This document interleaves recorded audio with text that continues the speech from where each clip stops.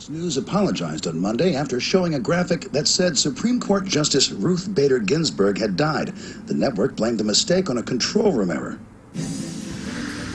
Just a small reminder of how fast the script can be flipped, especially on you if you participate.